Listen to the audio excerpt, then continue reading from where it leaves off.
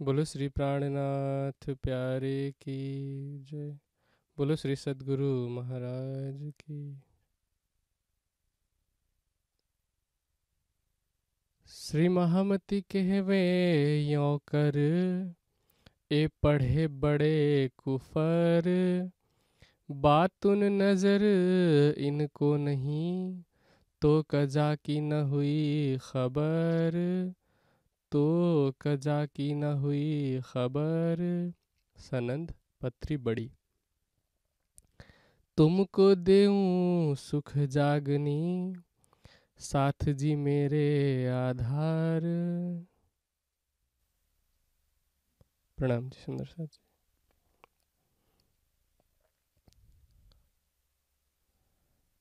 अक्षरातीत धामधनी श्री राज्य श्री इंद्रावती जी के हृदय धाम में विराजमान होकर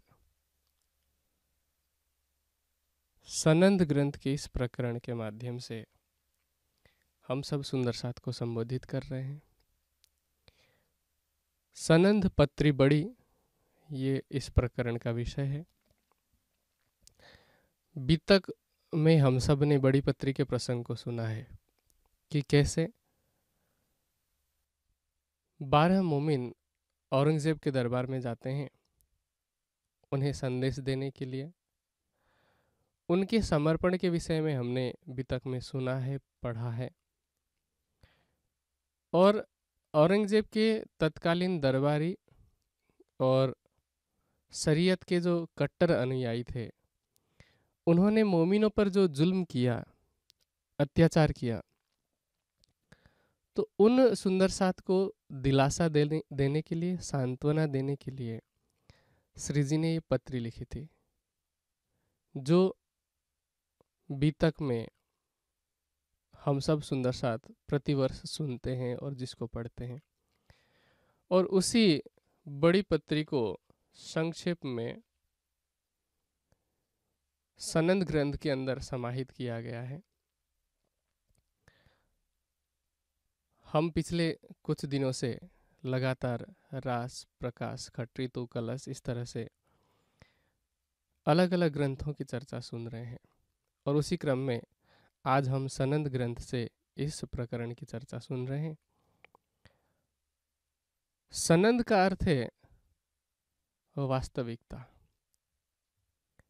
कि हम समझते कुछ और हैं या कुछ हमारी मान्यता कुछ और होती है लेकिन वास्तविकता कुछ और होती है। ये आवश्यक नहीं है कि जो हमारी मान्यता हो, वही धर्म संगत हो अथवा वही पूर्ण सत्य हो। मान्यता और धर्म में फ़र्क होता है। इस सनंद ग्रंथ में शरीयत के जो तत्कालीन अनुयायी थे, जितने भी कट्टर मुसलमान थे। उन सबको धर्म की वास्तविकता बताने के लिए, कुरान की वास्तविकता बताने के लिए इस ग्रंथ का अवतरण हुआ। चूँकि मोहम्मद साहब के कथनों का उल्टा अर्थ लेकर अथवा अर्थ का अनर्थ करके इन्होंने धर्म के नाम पर जो अत्याचार किया है बर्बरता की है और अपनी धर्मांधता में अंधे होकर के जैसा नरसंहार इन्होंने किया है, वैसा शायद ही इतिहास में किसी ने किया हो। इसके पीछे कारण क्या था? कुरान में कहीं पर भी ऐसा वर्णन नहीं है कि धर्म ज़बरदस्ती का विषय है। कुरान का तो कथन है। मोहम्मद साहब कहते हैं कि तुम्हारा ईमान तुम्हें मुबारक हो और उनका ईमान उन्हें मुबारक हो। कहना अथवा बताना तुम्हारा फ़र्ज़ है। लेकिन अगर कोई व्यक्ति उसी कुरान में से ये कहने लग जाए कि रमज़ान के उन पवित्र महीनों को छोड़ करके बाकी दिनों में जितने भी मुशरिक और काफिर हैं, वो जहाँ मिले वहीं पर मार डालो। अगर कोई ऐसा कथन कहे तो आप क्या कहेंगे? एक तरफ़ तो जितने भी मुसलमान हैं, उस खुदा को, उस अल्लाह ताला को अल रहमान कहते हैं, सब पर रहम करने वाला, अति कृपालु, अति दयालु कहते हैं। उसको रहीम कहा जाता है, रहमान कहा जाता है कि वो सब पर कृपा करता है, सब पर दया करता है। केवल मुसलमानों पर दया करने वाला, केवल मुसलमानों पर कृपा करने वाला तो कहीं पर भी नहीं लिखा है। तो इन्होंने जो कुरान में मिलावट की, आज भी विश्व में ऐसे बहुत सारे ज्ञानी मुसलमान हैं, जो ये तो कहते हैं कि हाँ कुरान में मिलावट हुई है। लेकिन कट्टरता के कारण, धर्मांधता के कारण उसमें सुधार करने के लिए कोई तैयार नहीं है। और उसी कमी की वजह से आज विश्व में जिहाद के नाम पर जितना भी आतंक फैलाया जा रहा है अलग अलग माध्यमों से, उन आतंकों का और इस वैश्विक अशांति का कारण ही यही है। ऐसा नहीं है कि भारतीय परंपरा में सनातन धर्म ग्रंथों में कोई मिलावट नहीं हुई है। लेकिन जैसे जैसे ये पता चलता गया कि इन ग्रंथों में मिलावट की है, हमने उन ग्रंथों की मिलावटों को सुधारा। जैसे उदाहरण के लिए, क्योंकि अच्छाई और बुराई हर जगह पर होती है जब भारतवर्ष में वाम मार्ग का चलन था वाम मार्ग बहुत अधिक फैला हुआ था। इन्होंने वेद के एक मंत्र को जिसमें अग्रे कृतम शब्द आया है। तत्कालीन वाम मार्गी वाम मार्गी पंडितों ने अग्रे कृतम को अग्ने कृतम कर दिया था। और फिर इन्होंने धीरे धीरे करके सती प्रथा चालू की कि पति के मर जाने के बाद में पत्नी को सती करना है। उसके बाद कुछ लोगों ने जाति प्रथा चालू की, अर्थ का अनर्थ करके। इसी तरह से बहुत सारे, बहुत सारी कुरीतियाँ भारत में भी फैले। लेकिन जैसे जैसे ज्ञान का प्रचार होता गया जैसे जैसे समाज में महापुरुष आए, उन्होंने अपने अंदर की कमी को निकालना शुरू किया। स्वामी दयानंद सरस्वती ने सनातन मत में ही फैली हुई कुरीतियों को समाप्त किया। इसी तरह से ब्रह्म समाज के कुछ लोगों ने भी सती प्रथा इत्यादि का, बलि इत्यादि का विरोध किया। लेकिन कट्टरता के कारण जितने भी कट्टर मुस्लिम हैं, वो ये स्वीकार करने के लिए तैयार नहीं है कि कुरान में मिलावट हो सकती है। और अगर कोई ये कहने की हिम्मत करता भी है कि हाँ कुरान में मिलावट हुई है तो उनको जान से मारने की धमकी दी जाती है। इसीलिए कोई भी इसमें सुधार करने के लिए तैयार नहीं है। नहीं तो अगर हम इस्लाम मत के ही ग्रंथों की बातों को माने, चाहे हम सबे महराज को देखें, जिसमें मोहम्मद साहब के द्वारा जो उन्हें दर्शन हुआ खुदा का, उसका वर्णन है और उसमें यह कहा गया है कि उन्होंने खुदा से नब्बे हज़ार हरूफों में बात की। और खुदा ने ये उनको आदेश दिया, ये निर्देश दिया कि नब्बे हज़ार में से तीस हज़ार हरफ जो शरीयत के होंगे, उन्हें तुम ज़ाहिर कर देना। तीस हज़ार तरीकत के जो होंगे, अगर कोई योग्य व्यक्ति मिले तो उन्हें तुम देना। और बाकी के जो तीस हज़ार हैं, हकीकत और मारिफत के, वो मैं जब फरदा रोज को, अर्थात कयामत के समय में आऊँगा, तब उसे ज़ाहिर करूँगा। उस हिसाब से कुरान के अंदर तीस हज़ार शरीयत के और तीस हज़ार तरीकत के कुल मिला करके साठ हज़ार हरूफ होने चाहिए थे। लेकिन आज कुरान में तिहत्तर हज़ार से कुछ ऊपर, तिहत्तर हज़ार से चौहत्तर हज़ार के बीच में हरफ है। तो ये जो तेरह हज़ार हरफ हैं वो कहाँ से आए? तो ऐसे ही जो समय समय पर मिलावट हुई है, जिनको कुछ मुसलमान सैतानी आयत भी कहते हैं तो उन सैतानी आयतों की वजह से आज समाज में जो भी जिहाद कहें, चाहे कट्टरपंथ कहें, इन सब का आज आतंक मचा हुआ है। तो उस समय भी, पाँचवें दिन की लीला में, जिस समय का ये वर्णन किया जा रहा है, उस समय भी आप चाहे मुगल काल को देखें, चाहे मुगल काल से पहले भिन्न भिन्न मुस्लिम आक्रांता आकर के केवल धर्म के नाम पर आपने इतिहास में पढ़ा होगा, तैमुरलंग ने केवल मेरठ में एक लाख के लगभग हिंदुओं का नरसंहार किया था। औरंगज़ेब के बारे में कहा जाता है कि जब तक वो सवा मन जनेऊ अपने तलवार के बल पर अथवा डरा धमका करके नहीं उतरवा लेता था, तब तक वो भोजन ग्रहण नहीं करता था। तो उस कट्टरता के कारण जब पूरा देश अथवा संपूर्ण संसार में त्राही त्राही मची हुई थी। ऐसे समय में श्री प्राणनाथ जी आखरुल इमाम मोहम्मद मेहदी के रूप में ज़ाहिर हुए और उन्होंने अपने इस ज्ञान को ज़ाहिर करने के लिए, औरंगज़ेब तक पहुँचाने के लिए प्रयास किया और उसी प्रयास के क्रम में उनके जो बारह प्रमुख सुंदर साथ थे, उन्होंने औरंगज़ेब के दरबार में ये संदेश पहुँचाया। जिसका वर्णन हम प्रतिवर्ष बीतक में सुनते हैं। और न सिर्फ़ सुनते हैं, बल्कि उन्हें बहुत ही प्रेम से, श्रद्धा से याद करते हैं। लेकिन अगर हम उन सुंदर साथ के नक्शे कदम पर चलने का थोड़ा सा भी प्रयास नहीं करते हैं तो फिर उन्हें सिर्फ़ याद कर लेना और बस दिल से, दिल में थोड़ी सी श्रद्धा दिखा देना, ये इसका कोई लाभ नहीं है। क्योंकि अगर हम कहते हैं कि हम उन ब्रह्म मुनियों पर श्रद्धा रखते हैं तो पहले ये समझना होगा कि श्रद्धा किसे कहते हैं? श्रुत उपसर्ग पूर्वक धा धातु से श्रद्धा शब्द बनता है। सत्य को धारण करना ही वास्तव में श्रद्धा है।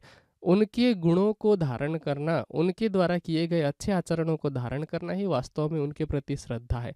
अगर हम इस प्रकरण को आगे देखें और उसके बाद बीतक के उस प्रकरण को, उस बड़ी पत्री में एक सौ इक्यावन चौपाई है और उसमें प्रत्येक चौपाई में श्री जी सिखापन दे रहे हैं और उन ब्रह्म मुनियों की प्रशंसा कर रहे हैं कि उन्होंने कितना बड़ा काम किया।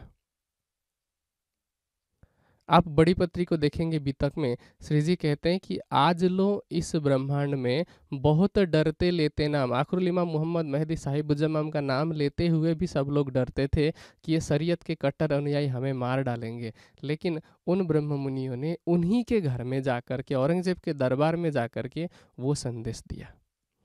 और उसके बाद उन पर जो भी जुल्म हुआ, उस जुल्म को उन्होंने सहा और उस जुल्म से कोई भी दुखी, द्रवित न हो। इसलिए श्री जी ने उन सबको धैर्य बंधाने के लिए ये पत्र लिखा और कह रहे हैं, तुमको देऊं सुख जागनी।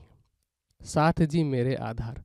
श्री जी उन सुंदर साथ को अपना आधार बता रहे हैं। जैसे ब्रह्म सृष्टियों का आधार राज्य है वैसे ही राज्य का आधार भी ब्रह्म सृष्टि है।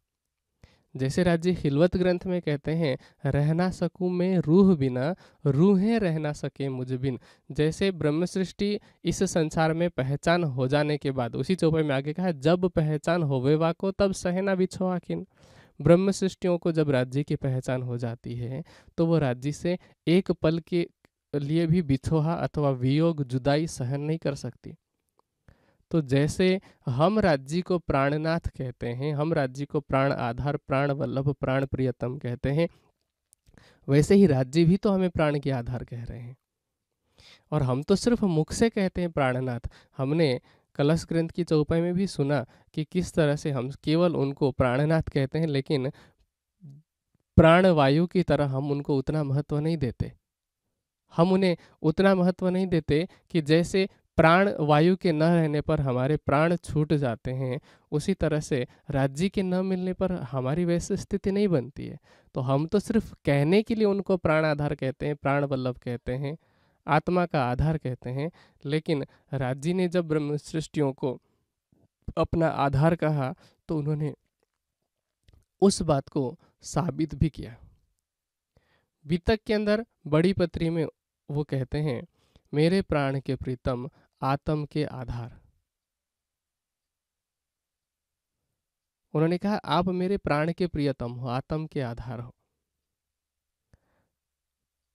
भेख धरे जो वासना, छोटे बड़े नर नार ब्रह्म सृष्टियाँ इस संसार में आई और अब कोई उम्र में छोटा है, कोई बड़ा है, कोई नर अर्थात कोई पुरुष तन में आया है, कोई नारी के तन में अर्थात कोई स्त्री तन में आया है। अब उनमें से अब बारह मोमिनों ने भी मुसलमानों का वेश धारण किया है। और वहाँ जाकर के, औरंगज़ेब के दरबार में जाकर के संदेश दे रहे हैं। और ऐसे संदेश देने वाले ब्रह्म मुनियों को आगे कहते हैं, सुनियो भीम मुकुंद जी, उद्धव के सौ श्याम, हम पाती पड़ी मोहम्मद की सब पाई हकीकत धाम। श्री जी कह रहे हैं जितने भी उस समय प्रमुख सुंदर साथ माने जाते थे। प्रमुख का मतलब ऐसा नहीं कि कोई बड़ा है, कोई छोटा है, आत्मिक दृष्टि से तो सभी समान ही हैं। लेकिन इस संसार में जो जितना अधिक त्याग करता है, समर्पण करता है, सेवा में आगे होता है, उनको सिरदार कहा जाता है। तो भीम भाई जी ने जो त्याग किया मुकुंदास जी ने जो त्याग किया, उद्धव जी ने केशवदास जी ने, श्याम भाई ने इन सबने जो त्याग किया तो उनका नाम ले रहे हैं। और उनका नाम लेकर के इस चौपाई में कहा जा रहा है, इसका मतलब ये नहीं कि सिर्फ़ उन्हें कहा जा रहा है। उन ब्रह्म सृष्टियों का नाम लेकर के हम सभी सुंदर साथ को संबोधित किया जा रहा है। और श्री जी कह रहे हैं, संबोधन क्यों कर रहे हैं? कि हम पाती पढ़ी मोहम्मद की सब पाई हकीकत धाम। हमने मोहम्मद साहब की पत्री को पढ़ा, उनकी चिट्ठी को, उनके संदेश को पढ़ा। मोहम्मद साहब को हम रसूल कहते हैं, पैगंबर कहते हैं। पैगंबर का मतलब पैगाम पहुँचाने वाला, रसूल का मतलब संदेश वाहक तो उन्होंने जो संदेश भेजा है, वो संदेश जो लेकर के आए हैं कुरान रूपी, श्री जी कहते हैं, हमने उस पत्री को पढ़ा और उस पत्री को पढ़ करके, उस कुरान को पढ़ करके हमने क्या पाया? सब पाई हकीकत धाम। हकीकत का मतलब होता है वास्तविकता, सनंद का मतलब भी वास्तविकता है। तो हमने उस कुरान की वास्तविकता को जाना। श्री जी कहते हैं, अपने घर की इशारतें और न समझे कोई। अब जितने भी सुंदर साथ, इस चौपाई को पढ़ते हैं, उन्हें गर्व होना चाहिए कि उनको वो तारतम ज्ञान मिला है, ऐसी ब्रह्मवाणी रूपी चाबी मिली है कि धर्म ग्रंथों में लिखी प्र, प्रत्येक इशारतों को प्रत्येक रहस्यों को वो समझ सकते हैं अपने तारतम रूपी चाबी के द्वारा। कहते हैं अपने घर की इशारतें और न समझे कोई। कोई दूसरा समझ ही नहीं सकता। सरकार श्री एक उदाहरण दिया करते थे पति पत्नी का कि पति अगर कोई चिट्ठी भेजता है पत्नी के लिए और उसमें इशारे में लिखा होता है कि ये करना वो करना तो उस इशारे को वही समझ सकता है जिसने भेजा है या फिर वही समझ सकता है जिसके लिए भेजा गया है। तो धर्म ग्रंथों में जो साक्षियाँ लिखी है, वो सबसे पहले ब्रह्म सृष्टियों के लिए है कि ब्रह्म सृष्टि उन साक्षियों की पहचान करेगी, उसके बाद जीवों को उसकी पहचान कराएगी। जैसा कि वाणी का कथन है, पहले सुख सुहागनी, पीछे सुख संसार। तो हम सब सुंदर साथ को गौरवान्वित तो होना चाहिए कि हम हमारे पास वो तारतम ज्ञान रूपी कुंजी है, चाबी है, जिससे कि हम धर्म ग्रंथों के रहस्यों को खोल सकते हैं। चाहे कोई भी ग्रंथ हो, चाहे वो कतेव पक्ष के इंजिल जम्बूर तौरेत और कुरान हो, या फिर वेद पक्ष के अर्थात हिंदू धर्म ग्रंथ में वेद हो, दर्शन हो, उपनिषद हो, चाहे गीता हो, भागवत हो, उन सभी ग्रंथों के रहस्यों को हम खोल सकते हैं। आज अध्यात्म जगत का कोई भी ऐसा प्रश्न नहीं है जिसको हम तारतम्य ज्ञान के आधार पर खोल ना सकते हो। अध्यात्म के मूल प्रश्न कि मैं कौन हूँ, कहाँ से आया हूँ, मेरी आत्मा का प्रियतम कौन है, कहाँ है, कैसा है, क्या करता है, अर्थात परमात्मा के धाम, लीला और स्वरूप का वर्णन सिर्फ़ तारतम ज्ञान के आधार पर ही हम जान सकते हैं और दूसरों को बता सकते हैं। इसलिए श्री जी कहते हैं कि और कोई तो समझे जो कोई दूसरा होए। हमारे घर की बातें हम ही जान सकते हैं, हमारे अलावा दूसरा कौन है? कौन है कहने का मतलब ये है कि एक कलश ग्रंथ के अंदर चौपाई आती है कि भी बेवरा वासना जीव का, या के जुदे जुदे हैं ठाम, जीव का घर है नींद में, वासना घर श्रीधाम। जीव तो जीव की उत्पत्ति ही नींद से हुई है। और नींद से जिनकी उत्पत्ति हुई है, अर्थात जो स्वप्न है स्वप्न का मूल्य क्या है? स्वप्न का मतलब जैसे ही हम सपने में बहुत विशाल ब्रह्मांड को भले ही देख लें बड़े बड़े पहाड़ देख लेते हैं कभी कभी हम जब डरावने सपने देखते हैं बड़े बड़े राक्षस देखते हैं, बहुत सारे लोग देखते हैं जो हमें मारने के लिए आ रहे होते हैं, जो हमें भगा रहे होते हैं। लेकिन सपना चाहे कितना भी बड़ा हो, जब हम जागृत अवस्था में देखते हैं तो वो तो धूल के कण के बराबर भी नहीं होता। क्या स्वप्न का, स्वप्न के ब्रह्मांड का एक कण भी जागृत अवस्था में आ सकता है? इसका मतलब यह है कि स्वप्न से बनी हुई जो सृष्टि है, वो तो कुछ भी नहीं है। जैसे वाणी कहती है, सुपन की सृष्टि वैराट सुपन का। लेकिन आज हमारी स्थिति कैसी हुई है? श्री जी, इस चौपाई में कह रहे हैं कि और कोई तो समझे जो कोई दूसरा हो हम ब्रह्म सृष्टियों के अलावा और कुछ तो है ही नहीं। और अगर और कुछ दिख रहा है तो वो केवल झूठ है। लेकिन किरण तन की एक चौपाई कहती है, सुपन की सृष्टि वैराट सुपन का झूठे सांच ढपाया। असत आपे सो क्यों सत को पेखे? इन पर पेड़ न पाया। जो स्वयं असत्य है, वो सत्य की पहचान कैसे कर सकता है? स्वप्न में अगर हम किसी को देखते हैं तो स्वप्न का कोई व्यक्ति जागृत अवस्था के किसी को कैसे पहचान सकता है भला? लेकिन आज क्या हो रहा है? झूठ ने सत्य को ढक लिया है। आज हर जगह पर झूठ ही झूठ का साम्राज्य है। क्यों? क्योंकि सत्य पर अभी पर्दा टला हुआ है, पर्दा डला हुआ है। जो सत्य हैं और जो अपने आप को सत्य समझते हैं, ऐसी ब्रह्म सृष्टियाँ अभी झूठ के पर्दे में अपने आप को ढक करके रखी हुई है।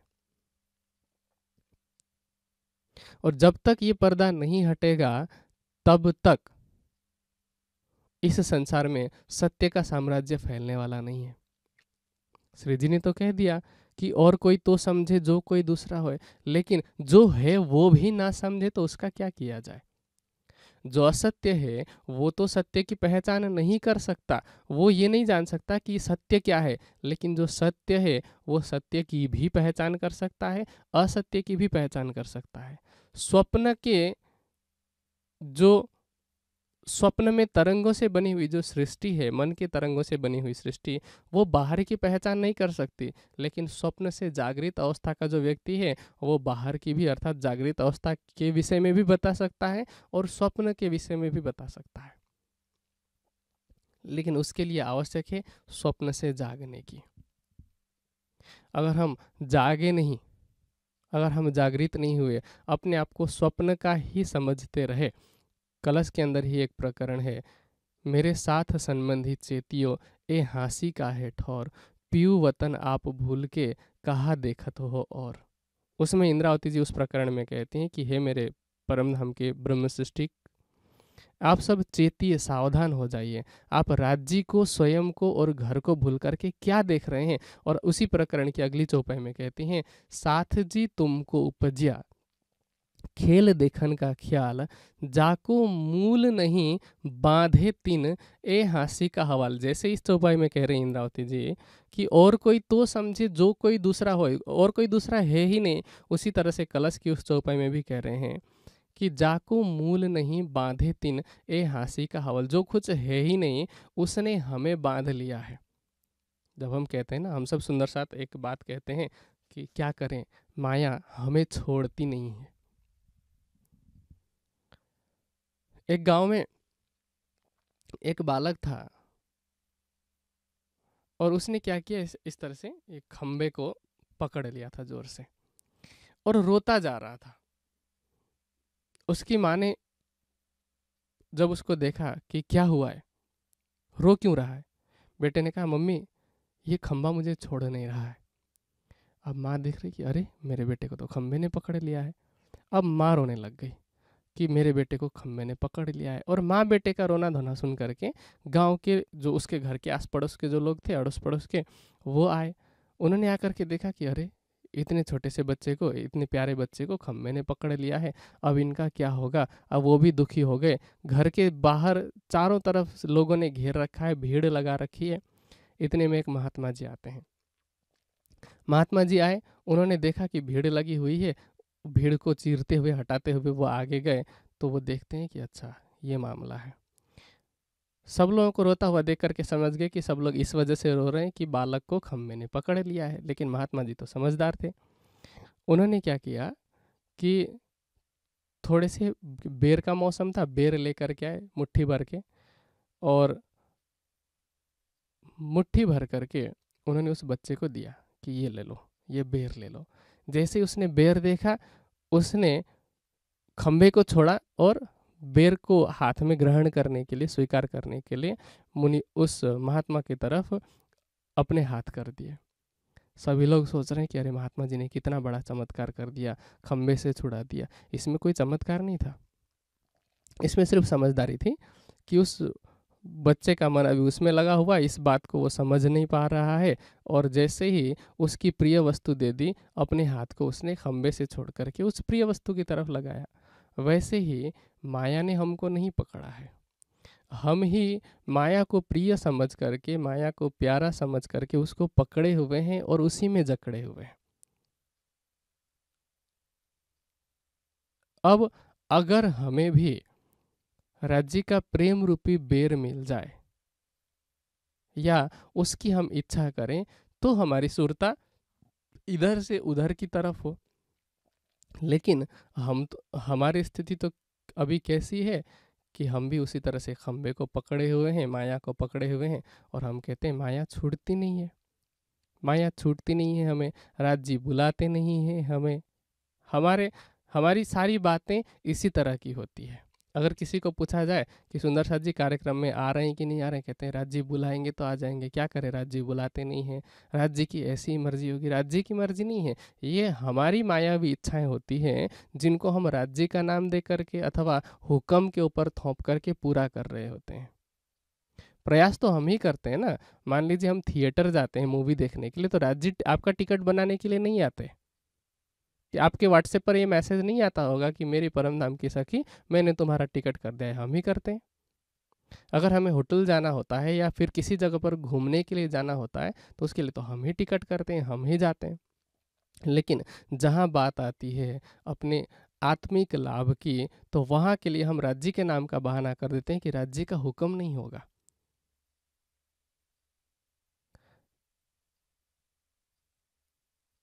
इंद्रावती जी ने इस चौपाई के माध्यम से एक बहुत बड़ी बात बता दी। एक बहुत बड़ा अधिकार दे दिया हम सब सुंदर साथ को, कि और कोई तो समझे जो कोई दूसरा दूसरे को, दूसरा कोई समझ ही नहीं सकता। इसको समझने का अधिकार सबसे पहले ब्रह्म सृष्टियों को है। लेकिन हम सभी सुंदर साथ को समझना होगा कि इस अधिकार को ग्रहण करते हुए एक हॉलीवुड की बहुत ही प्रसिद्ध मूवी है, शायद सबने देखा होगा, नाम अभी मुझे ध्यान में नहीं आ रहा है। उसमें उसका जो सुपर हीरो होता है, वो एक बात कहता है कि जब भी किसी व्यक्ति के पास में बहुत बड़ी ताकत आती है, अर्थात शक्ति आती है तो जितनी अधिक शक्ति आती है, उसकी रिस्पॉन्सिबिलिटी उसकी ज़िम्मेदारी भी उतनी ही बढ़ जाती है। और इसको सीखने के लिए, इस बात को सीखने के लिए हमें उस मूवी का ही सहारा लेने की ज़रूरत नहीं है। जब हम बचपन में नैतिक शिक्षा पढ़ते थे स्कूल में, छठी, सातवीं में तो हमारे स्कूल में भी ये बात सिखाई जाती थी कि अधिकार और कर्तव्य एक सिक्के को दो पहलू होते हैं। किसी व्यक्ति को अधिकार अगर मिलता है तो उसके साथ साथ उसके उतने ही कर्तव्य जुड़ जाते हैं। वैसे ही हम ब्रह्म सृष्टियों को राज्य ने यह शोभा दी है। चाहे आप किसी भी रूप में समझें विश्व को अखंड मुक्ति देने का अधिकार अगर हम समझते हैं, या फिर वैश्विक शांति का अधिकार समझते हैं, परब्रह्म की लीलाओं की पहचान कराने का, जीवों को जागृत करने का, ब्रह्मांड को जगाने का, कुछ भी समझ लें, इतना बड़ा अधिकार आपको राज्य ने दे रखा है तो इसके साथ में कर्तव्य भी है, क्योंकि बिना कर्तव्य का पालन किए अधिकार की अगर हम बात करते हैं, अधिकार की चर्चा करते हैं तो वो फिर व्यर्थ है।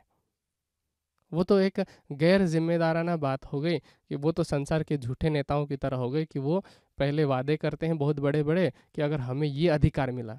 अधिकार ही मिलता है उनको, राजनेता बनते हैं, सांसद बनते हैं, उनको अधिकार मिलता है। वो कहते हैं कि अगर हमें ये अधिकार मिला तो हम ये कर्तव्य पूरा करेंगे मतलब आपको ये लाभ देंगे, ये लाभ देंगे।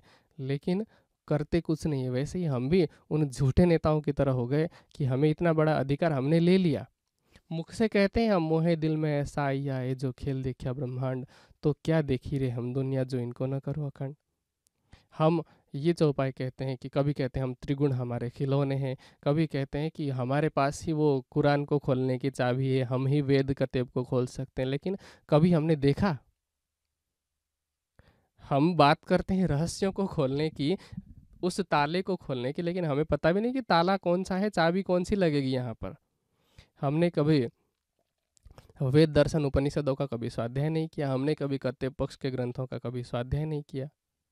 तो हमें कैसे पता चलेगा? हम सिर्फ़ एक चौपाई पढ़ लें कि अपने घर की इशारतें और न समझे कोई, और कोई तो समझे जो कोई दूसरा हो अगर एक चौपाई को याद कर लें तो रहस्य थोड़ी खुल जाएगा। उसके लिए तो तारतम ज्ञान रूपी चाबी चाहिए और संपूर्ण वाणी में जो खोलने की कला दी गई है वो चाहिए। अब आपके पास चाबी भी है, खोलने की कला भी है, लेकिन आप ताले तक ही ना पहुँचे तो तब भी उसका कोई लाभ नहीं है। रहस्य तो तब खुल सकता है जब आपके पास चाबी भी हो, खोलने की कला भी हो। आप ताला तक पहुँचें, चाबी को ताले के छिद्र में लगाएँ, सही ढंग से उस कला का प्रयोग करते हुए घुमाएँ और खोलें, तभी तो रहस्य दिखेगा कि अंदर दरवाजे के अंदर क्या है।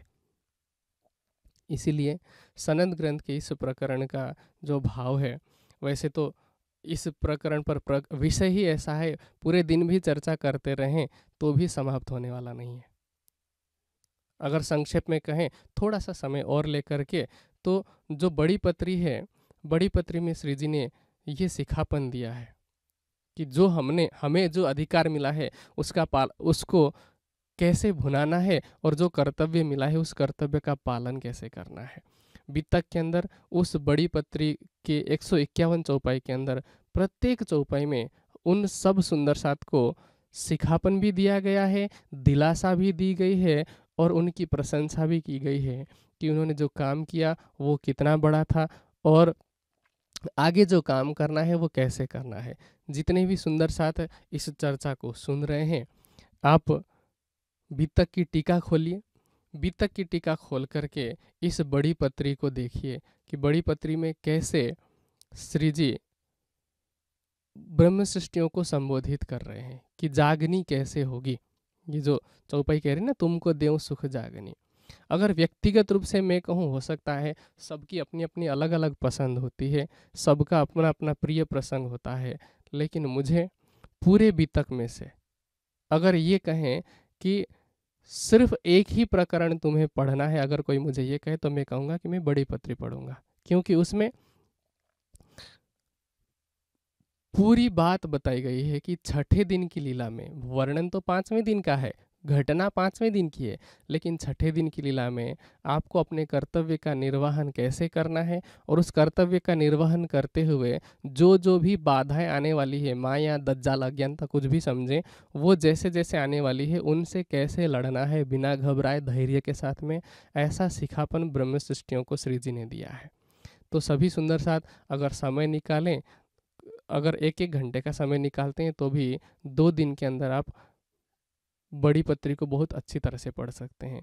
और उसके बाद आपको समझ में आएगा कि श्री जी अथवा श्रीराज जी, क्योंकि एक ही स्वरूप हैं, हम सुंदर साथ को क्या सिखापन देना चाहते हैं?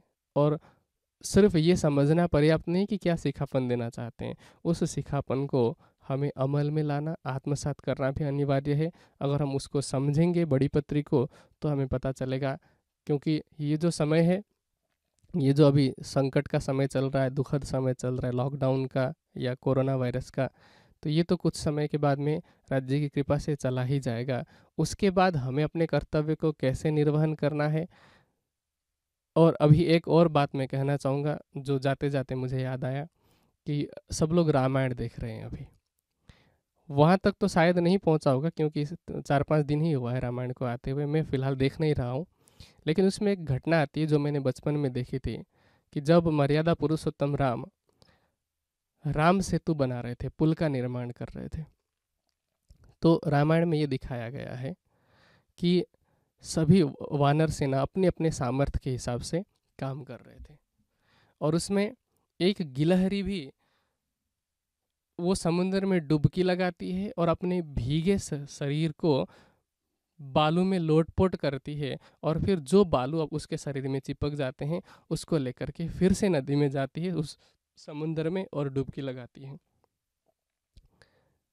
उस घटना से हमें ये शिक्षा लेनी चाहिए, चाहे वो आज के हिसाब से हो, ये जो संकट काल है उस हिसाब से देखें, चाहे भविष्य में आने वाली घटनाओं को देखें या भूतकाल में जो बीत गई उनसे शिक्षा लें तो उससे हमें ये शिक्षा मिलती है कि चाहे इस संकट काल में सरकार को, सरकार की मदद करने के लिए हो, चाहे फिर भविष्य में इस ब्रह्म ज्ञान को फैलाने के लिए हो, प्रत्येक सुंदर साथ की सेवा का अपना अपना महत्व है।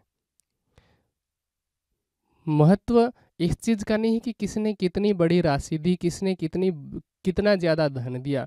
महत्व इस बात का है कि सेवा की भावना किसके अंदर कितनी है? अगर किसी के पास सौ करोड़ की संपत्ति है और अगर वो एक लाख रुपए का दान दे रहा है तो दान तो दे ही रहा है, सेवा उसकी भी है।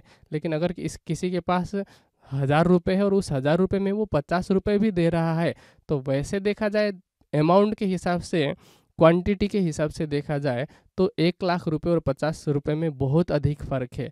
लेकिन अगर त्याग को देखा जाए, अगर आप परसेंटेज निकालेंगे तो दोनों में कोई फ़र्क नहीं रहेगा। भाव किसी का फ़र्क नहीं है। हाँ भौतिक संसाधनों की कमी किसी के पास हो सकती है, किसी के पास संसाधन अधिक हो सकते हैं। तो एक गिलहरी की सेवा का भी अपना महत्व है, एक अंगद जैसे वीर वानर की सेवा का भी अपना महत्व है। तो इसीलिए वर्तमान में भी सभी सुंदर साथ, चाहे जितने भी धर्मावलंबी, जितने भी धर्म प्रेमी सज्जन वृंद, इस चर्चा को सुन रहे हैं। तो सभी अपने अपने हिसाब से ये ज़रूरी नहीं है कि हम उसको जग ज़ाहिर ही करें कि हमने इतनी सेवा कर दी है। हाँ जितनी भी संस्थाएँ इस बात को ज़ाहिर कर रही है उसमें भी हाँ भाव सबका अलग अलग होता है। अपना स्वार्थ पूरा करने के लिए अथवा अपनी इज़्ज़त के लिए कि हाँ अप, अपना अभिमान बढ़ाने के लिए, अहंकार बढ़ाने के लिए ज़ाहिर ना करें। लेकिन अगर आपको ऐसा लगता है कि इस चीज़ को दूसरों को बताने से दूसरों को भी प्रेरणा मिलती है, मोटिवेशन मिलता है तो दूसरों को प्रेरित करने के लिए आप ये सब फ़ोटो शेयर कर सकते हैं। हाँ इसमें आपका निजी स्वार्थ नहीं होना चाहिए कि मेरा इतना बड़ा नाम हो जाए, क्योंकि वैसे तो ये आपका व्यक्तिगत मामला है, लेकिन सेवा का लाभ आंतरिक रूप से तभी मिल पाता है क्योंकि किसी चीज़ का, हर चीज़ का लाभ तो होता है। जैसे एक फिजिक्स का सिद्धांत है कि every action has each and equal reaction आप सेवा कर रहे हैं, उसका फल तो मिलेगा, लेकिन आपने सेवा की और आपकी वाहवाही इस संसार में ही हो गई तो फल मिल गया आपको। आपकी प्रशंसा हो रही है, आपको फल तो मिल ही रहा है, लेकिन अगर आप इसका आंतरिक लाभ लेना चाहते हैं तो बताने की आवश्यकता नहीं। हाँ अगर आप ये चाहते हैं कि दूसरे लोग प्रेरित हों तो उस भाव से कर रहे हैं तो फिर इसमें कोई हर्ज नहीं। तो आप सभी सुंदर साथ से मेरा आग्रह है, सभी धर्मावलंबियों से धर्म प्रेमी सज्जनों से, कि अपने अपने हिसाब से सहयोग करें। आप एक भूखे व्यक्ति को भी अपने सामर्थ्य के हिसाब से भोजन करा देंगे तो वो भी सेवा है। आप सौ लोगों की व्यवस्था कर सकते हैं, वो भी सेवा है। आप आर्थिक रूप से लाखों का दान दे सकते हैं, वो भी सेवा है। प्रत्येक सेवा का अपना महत्व है। ये अभी के लिए भी याद रखें और सब ये सारा माहौल ठीक होने के बाद में जब हम सब सुंदर साथ अपने अपने मायावी कार्यों में भी लग जाएँगे, उस समय भी ये ध्यान रखें कि जागनी के लिए भी आप सबकी सेवा की आवश्यकता है। तो उसके लिए भी हम हमेशा तत्पर रहें। हमारे अंदर ये हीन भावना ना हो, किसी भी सुंदर साथ के अंदर, चाहे वो भौतिक रूप से अमीर हो या गरीब हो। राज़ी तो सीधे कहते हैं, मोमिन तो गरीब है, बकरी जेताबल तो भौतिक रूप से अमीर हो, गरीब हो, इससे कोई फ़र्क नहीं पड़ता है। आपके पास आध्यात्मिक संपदा कितनी है? आपके हृदय में राज्य के लिए भाव कितना है? आपके हृदय में सेवा की भावना कितनी है? राज्य ये देखते हैं। कितना बड़ा अमाउंट है तो दुनिया देखेगी। और आप दुनिया की भक्ति तो नहीं कर रहे हैं, दुनिया की सेवा तो नहीं कर रहे हैं। राज्य तो देखेंगे आपके दिल में भाव क्या है। तो हमारे दिल में वो भाव बना रहे, भाव के साथ में हम सेवा करते रहें। तो हम इस वाणी को प्रत्येक व्यक्ति तक पहुँचा सकते हैं, हम स्वयं की भी जागनी कर सकते हैं। और जैसा कि श्री जी इस चौपाई में, पहली चौपाई में कह रहे हैं कि तुमको देव सुख जागनी, साथ जी मेरे आधार तो राज्य तो सुख दे रहे हैं, लेकिन हमें लेने के लिए उपरोक्त तो बातों का ध्यान रखना पड़ेगा, जो कि हम आज की चर्चा में सुन चुके हैं। अब मैं अपने शब्दों को विराम देता हूँ। प्रणाम